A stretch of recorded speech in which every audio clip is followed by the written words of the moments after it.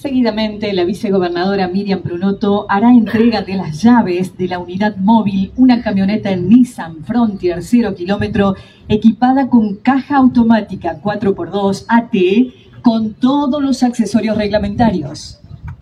Recibe el señor director general de Departamentales Norte, comisario general licenciado Antonio Urquiza y el director de la Unidad Regional Departamental Río Primero, comisario inspector licenciado Martín Castro. Podemos acompañar con un gran aplauso este momento de especial significancia para la ciudad de Río Primero, que impacte también y que sea un beneficio en nuestra región. En nombre de nuestra querida esposa. Muchísimas gracias. Me permite, señor director.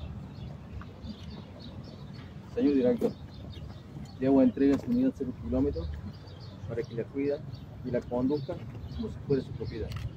Tenga presente que el esfuerzo de todos los cordobeses, como lo dijo el señor legislador, a través de así que la debemos cuidar. Le pido, le ordeno que va a tener el día clara sobre la conducción.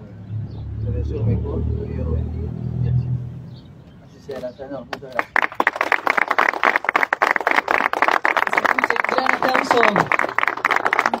Hoy es una fecha que queda en la historia de nuestra localidad.